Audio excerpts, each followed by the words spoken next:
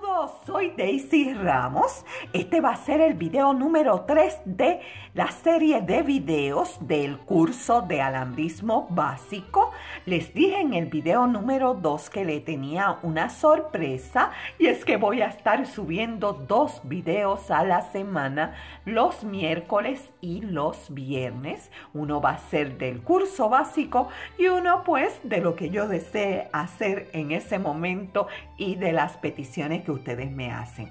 Es importante aclararle, vamos a estar haciendo una pulsera en tejido macramé. Queda bellísima. Ustedes saben que a mí me encanta hacer pulseras. Le hice el cierre de la flor y de verdad que queda muy linda. Pero para que aprendan a hacer el nudo, yo voy a estar haciéndolo en estos dos alambres, que son alambres de aluminio. Vamos a tener un video hablándoles de los alambres. Hoy le voy a hablar de los calibres, de la medida del espesor del alambre y para qué se usan. Pero yo no voy a hacer mi pulsera en estos alambres. Lo voy a hacer en el alambre regular que utilizo, número 18. Y del número 18 voy a estar utilizando 10 pulgadas, 25 centímetros. Y del alambre número 22 voy a estar utilizando 55 pulgadas, 140 centímetros.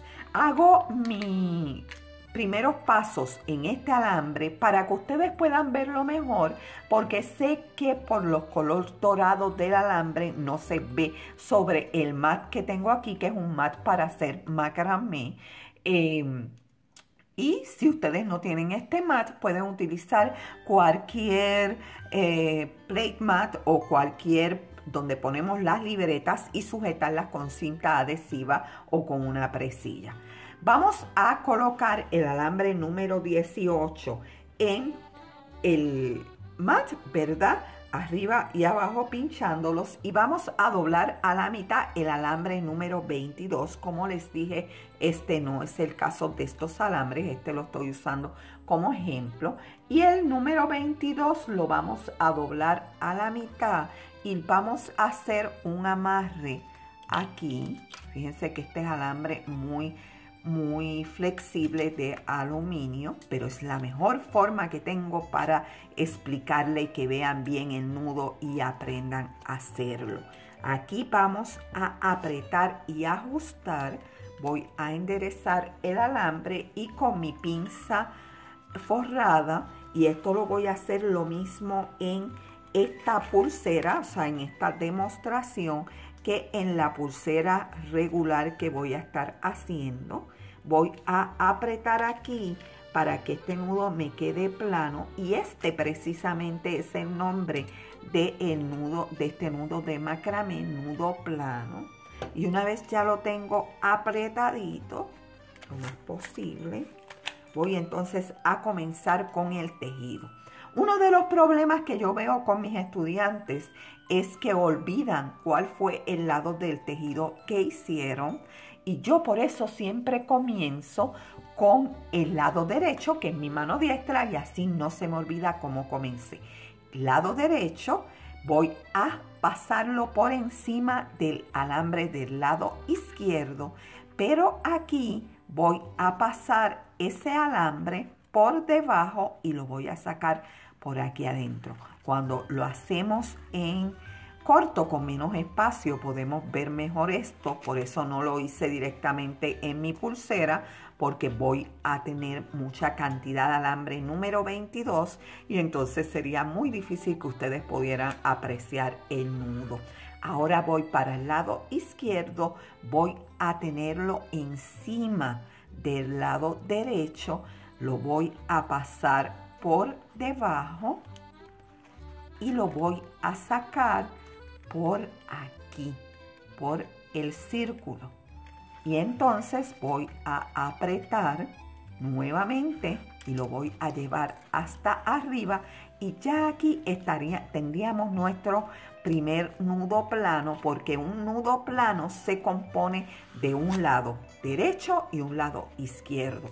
Voy nuevamente al lado derecho, lo paso sobre el lado izquierdo, pero lo paso debajo del alambre de la base y por dentro hacia arriba del alambre contrario y lo llevo nuevamente hasta ya aquí tengo los alambres que voy a estar usando para la pulsera tengo también los cinco nudos de macramé planos ya hechos, mírenlos aquí.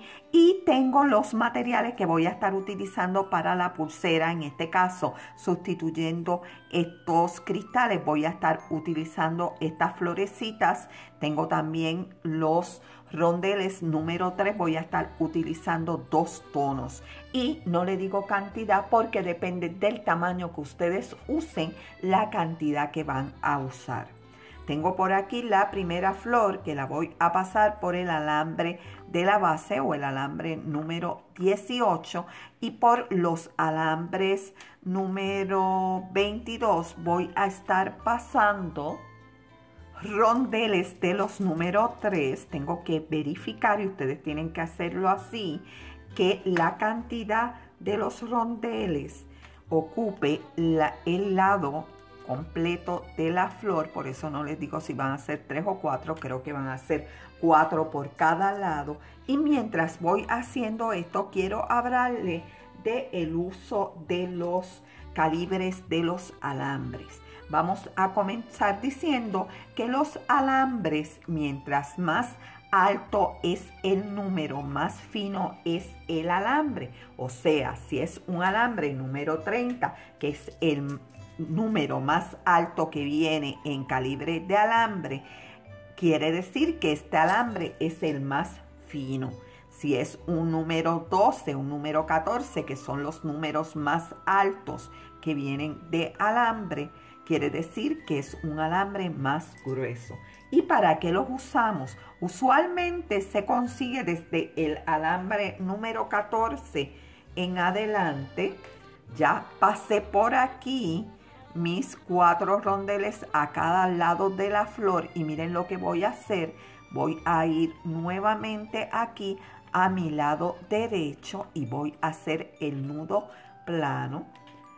Voy a colocar mi lado derecho sobre el alambre del lado izquierdo. Lo traigo aquí y lo paso por debajo del el alambre número 18, el que está en, la, en el mat sujeto y voy entonces a sacarlo por aquí. Fíjense que por eso quise hacer la demostración de los alambres primero con los otros alambres porque así con estos alambres tan largos se me hace muy difícil que ustedes puedan ver bien cómo se hace el nudo.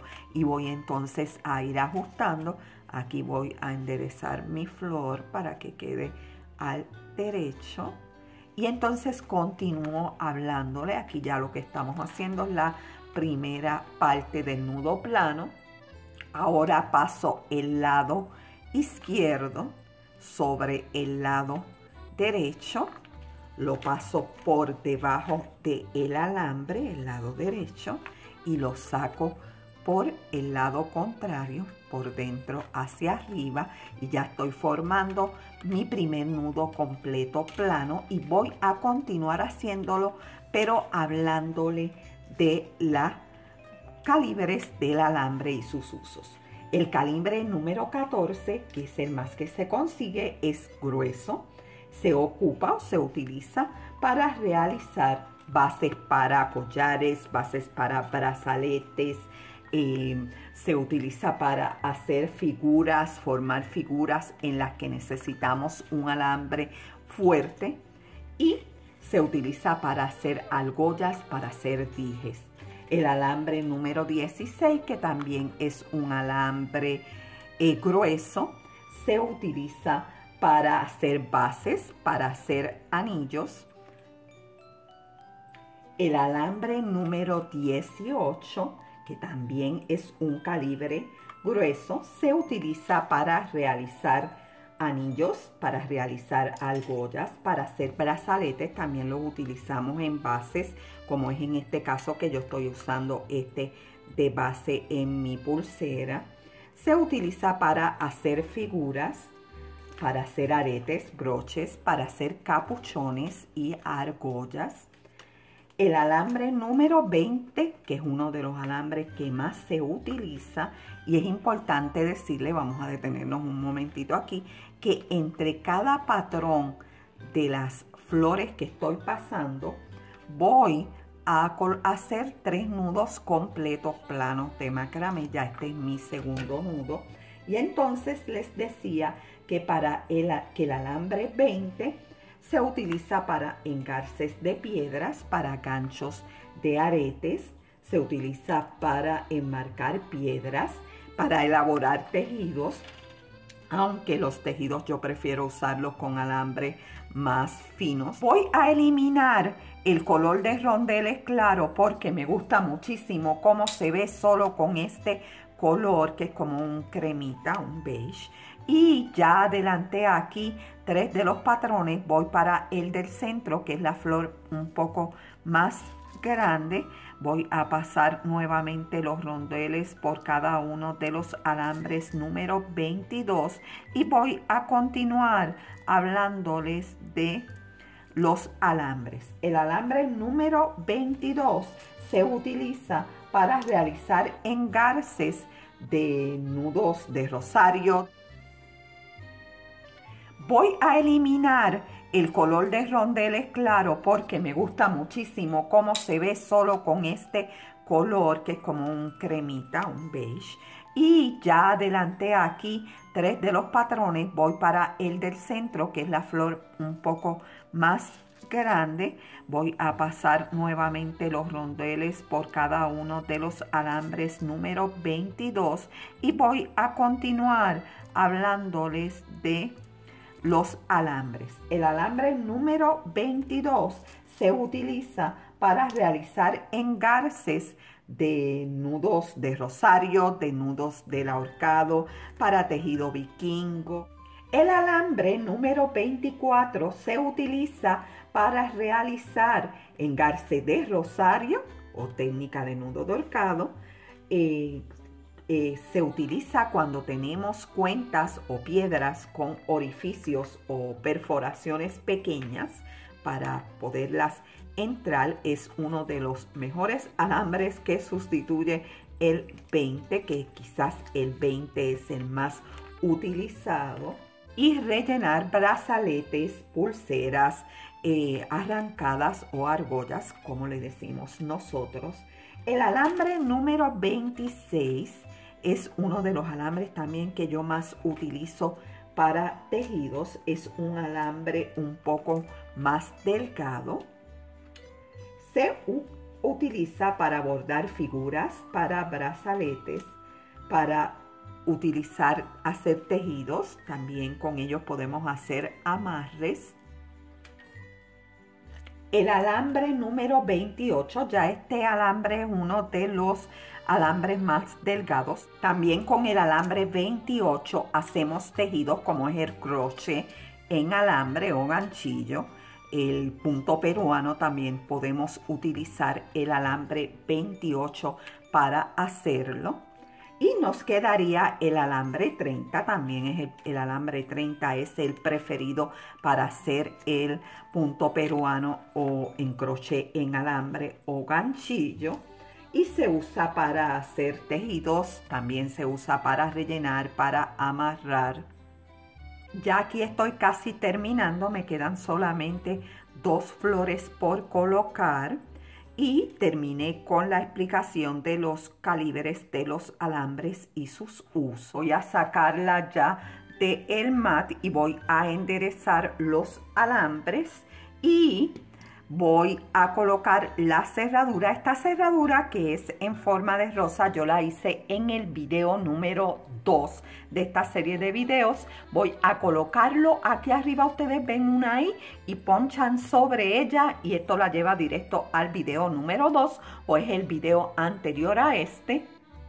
Voy ahora con los alambres finos que sobraron, voy a dar un pequeño amarre, no mucho, solamente una vueltita o dos, corto y hago lo mismo con el otro alambre. Aquí corto y con la pinza plana o la pinza redonda remato que simplemente a apretar ese alambre para que quede muy muy fuerte. Y voy a hacer lo mismo con este que sobró aquí una vueltita dos vueltas. Y voy a dar aquí la forma de la pulsera verdad y aquí voy a cortar más o menos a media pulgada. Estos son dos centímetros. Y voy a llevar hacia mí luego hacia el frente haciendo el engarce sencillo. En este momento voy a colocar la cerradura. Esta cerradura les dije que la pueden ver en el video número 2 y quedó, creo que le queda muy bonita por ser también una cerradura de rositas. Y ya en el otro lado voy a hacer lo mismo. Mm, voy a cortar por aquí. Hago mi ojal o engarce sencillo hacerlo así y simplemente en este lado es que se va a enganchar la cerradura aquí de esta forma miren qué bonita se ve la pulsera queda preciosa, queda súper, súper delicada. Por aquí tengo la otra que había hecho. Quedan súper hermosas, espero les hayan gustado. Recuerden like and share, eh, me gusta y compartir el video. Nos vemos en un próximo video. Gracias.